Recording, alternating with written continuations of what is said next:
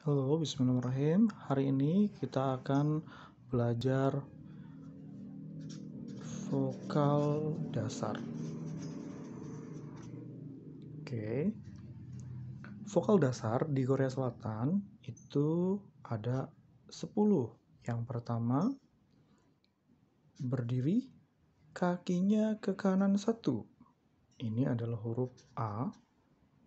Dibacanya A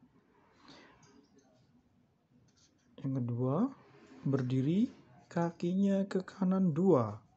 Ini adalah huruf ya. Dibacanya ya. Oke. Yang ketiga, berdiri kakinya ke kiri satu.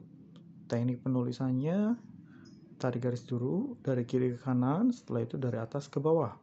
Ini adalah huruf O. Oke. Yang keempat,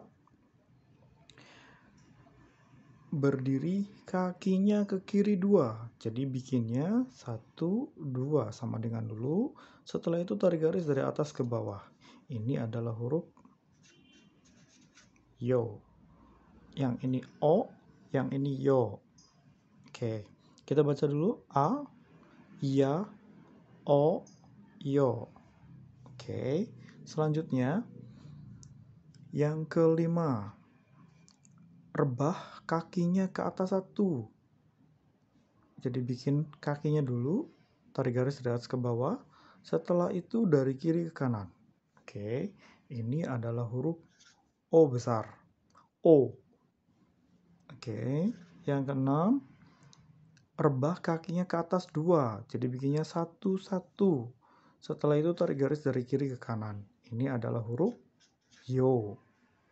Oke, yang ketujuh, kebalikan dari huruf O. Rebah kakinya ke bawah satu. Oke, ini adalah huruf U. Delapan, rebah kakinya ke bawah dua. Ini adalah huruf U.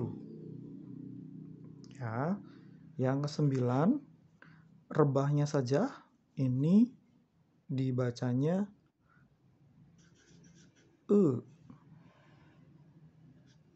10 berdiri saja I. Oke. Jelas ya? Kita baca dulu.